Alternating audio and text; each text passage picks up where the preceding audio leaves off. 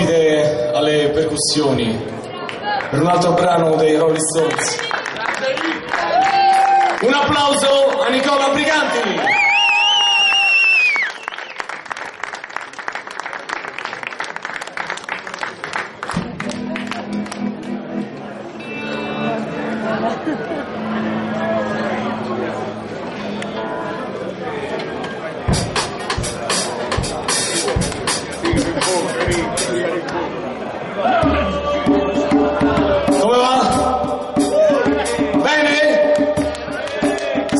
consentirvi.